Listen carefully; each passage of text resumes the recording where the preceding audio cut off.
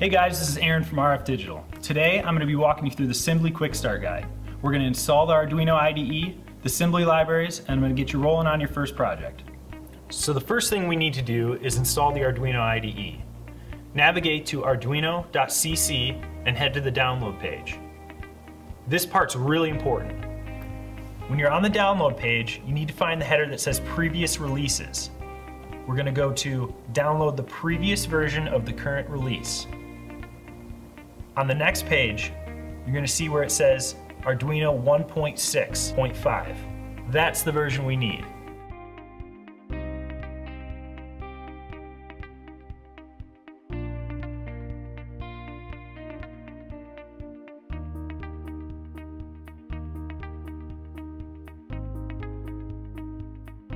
Once the Arduino IDE is installed, we need a way to program our chip. That's where the library comes in. To install the Simblee library, simply go to File and Preferences in your Arduino IDE. That should open a new window. In the Additional Boards Manager URLs field, you're going to enter the URL you see on your screen and hit OK. After you're done, go to Tools, Board, and the Boards Manager. Scroll down to Simblee Boards and hit Install. That's going to add your board to the list in Arduino.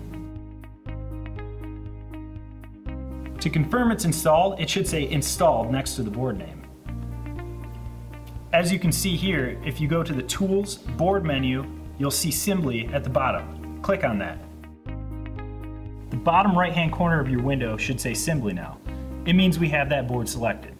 Your Simblee device can be programmed in one of two ways, either over the air or using USB. We're going to use USB.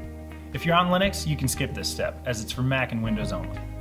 Windows or Mac users navigate to the URL in your Quick Start Guide and download the drivers for your operating system. Now I'm going to show you how to install the FTDI drivers for Windows.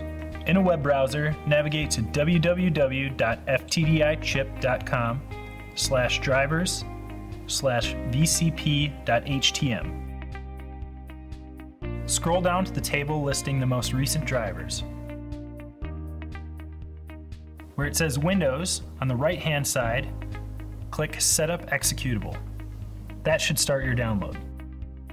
Once downloaded, click the setup.exe and move through the installation.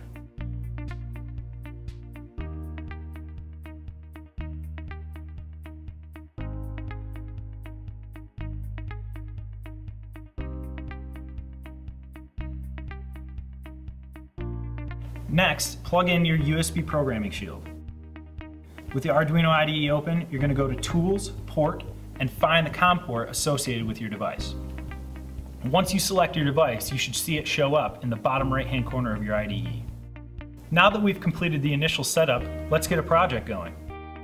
Click File, Examples, Simblee for Mobile, and select the temperature item.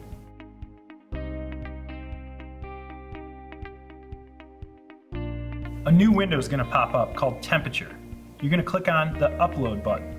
After it's done uploading, the bottom window is going to display Success. You've just programmed your first Simblee project. To access your Simblee from your mobile device, download and install the application from your device's App Store. Once installed, enable Bluetooth on your device and open Simblee for mobile. A list of found Simblees will appear.